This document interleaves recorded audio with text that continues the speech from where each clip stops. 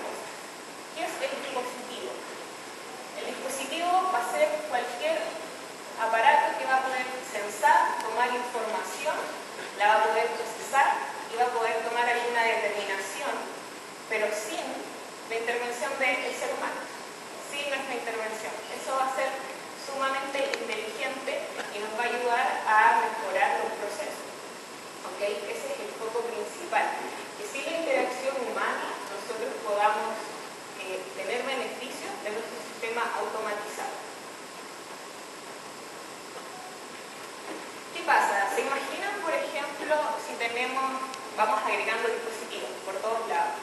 Vamos teniendo dispositivos de apertura, cámaras, sensores, eh, sonido, muchas, muchas cosas. ¿Qué va a pasar? Vamos a llevar todo eso a nuestra red, o sea, vamos a tener múltiples dispositivos eh, comunicándose directamente. O sea, es, eso es lo más lógico. Podría ser una alternativa, pero realmente no es lo. ¿Okay? Una de las opciones más óptimas, y está sonando, bastante fuerte en este ámbito, es utilizar sistema tipo Kerberos. ¿ok? Y como lo vemos en esta imagen, el foco va a ser que vayamos a concentrar dispositivos y, y ese dispositivo recién lo llevemos nosotros a, a nuestro centro de datos o a nuestra sala de procesamiento. Entonces, esa es un poco la tendencia de hacia dónde va el poder usar estos dispositivos. Además, también vamos a tener una optimización de recursos de networking en el tema, por ejemplo, del direccionamiento IP. Y este concepto de gateway se está utilizando ya bastante fuerte. Distintos fabricantes, distintas marcas tienen sus soluciones que funcionan a través de gateway y nos ayudan a optimizar mucho el uso de direccionamiento IP y de networking.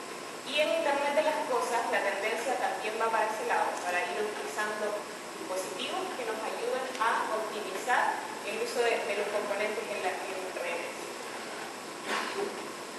Otro concepto importante, cuando hablamos de la frontera o edge, ¿qué diferencia vemos de una frontera con un gateway o con un dispositivo controlador? ¿Qué importancia tiene esto? En este caso, la frontera es, es un concepto que está sonando bastante fuerte en el tema del Internet de las Cosas, donde vamos a empezar a hacer una demarcación lógica dentro de nuestra solución física. ¿Qué quiere decir esto? Y yo voy a empezar a segmentar. Si yo tuviera sensores, por ejemplo, que están extrayendo información, ¿qué hago yo? Extraigo la información. Después esa información la tengo que procesar y tomar alguna determinación. Pero realmente tiene sentido con lo que la información llegue hasta el centro de datos principal. No tiene sentido, porque en realidad necesito que eso tome y reacción. Entonces, la idea es que estos dispositivos sean autónomos, que esas informaciones de procesamiento, de análisis, se haga directamente, digamos, en la última milla, directamente en ese escenario, que no llegue hacia el, hacia el data center o hacia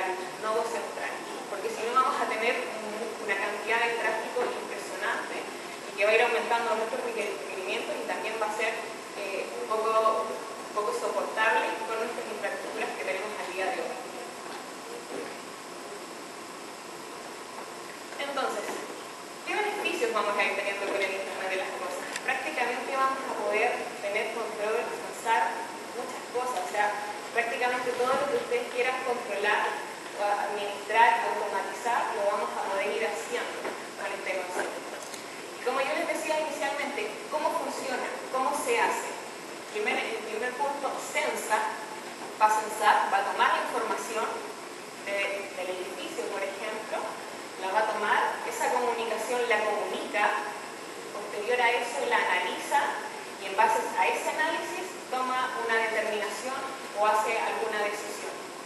Pero eso, la, gracia de todo esto es que esto tiene que ser independiente. No tiene que estar la intervención del ser humano acá. Esa es el beneficio. Que lo haga por sí solo,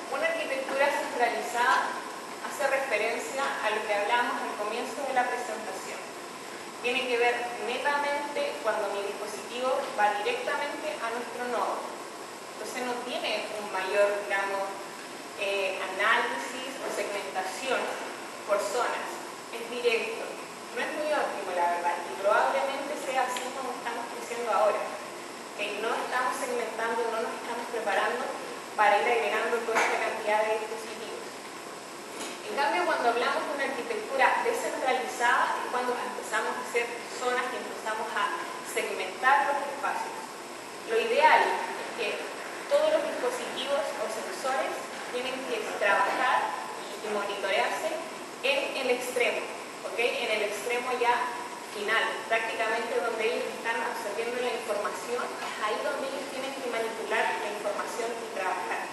Yo como data